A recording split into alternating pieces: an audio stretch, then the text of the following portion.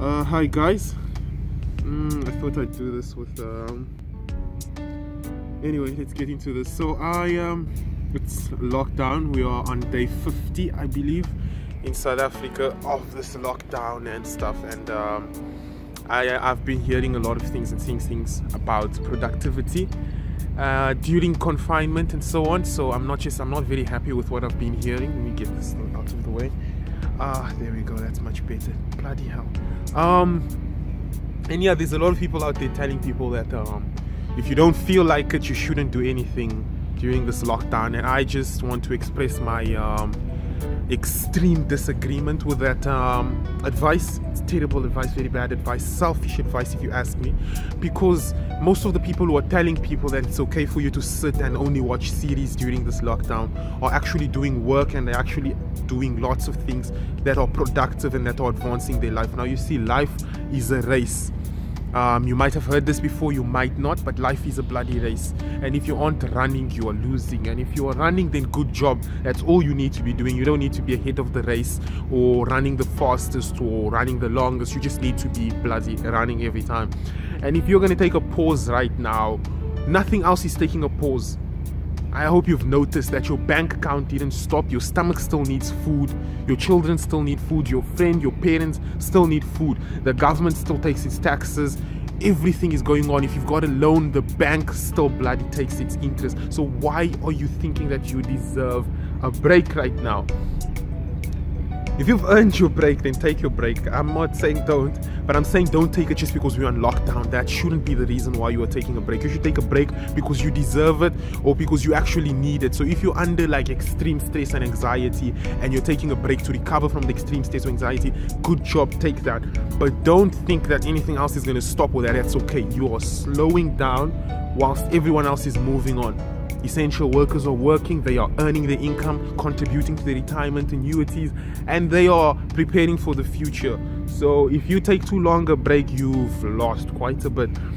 Now, the basis of this thing of taking a break, um, I understand that circumstances have changed. Some people have to work from home when they don't have any capacity to do that in terms of the fact that they have so many people in the house or they have so much noise or bad internet and so on but that means you can work slower. That doesn't mean you shouldn't work at all. And by work, I don't mean you need to do exactly what you were doing before lockdown, but you need to do something productive that's advancing your life, that's making sure that you are at after this whole lockdown, that you've actually moved forward and not backwards, that you've actually made progress because we, everyone else is making progress.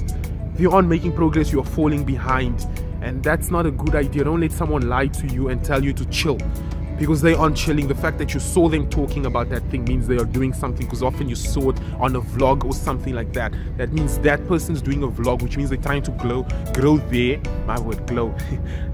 they're trying to grow their channel or their Instagram or whatever.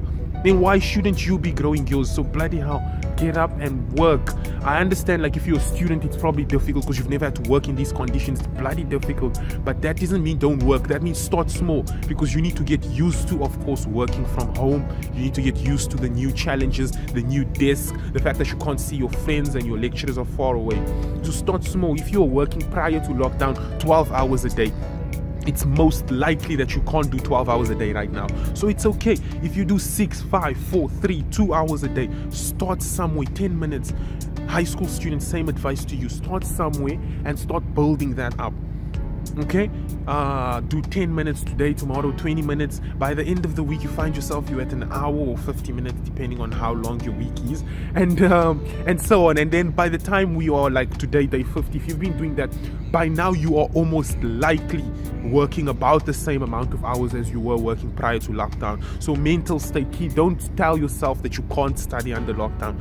You can. It's just difficult. You can't study at home. You can. It's just more difficult than it was before but just because something becomes difficult doesn't mean you can. You have to stop. It means your progress might become slower. it means you might need a lot more time to get through things. You might need to relax a little bit more than you used to because there's this extra stress. But that doesn't stop you from working. So don't lie to yourself and don't let anyone lie to you. So you hear someone telling you to chill and do nothing and telling you that it's okay, you tell them that they're a liar. Tell them what they are. We should call a cat what a cat is. Okay? Thank you. Uh, keep well. And um, yeah, I hope I can make some more like this. But I'm doing the most to keep productive during this lockdown. Um, I had some difficulties because I couldn't work at the start of it, so I had to switch things up. I mean, most of my breaks I spend them playing music or recording songs or writing songs or learning something how to play something on the guitar.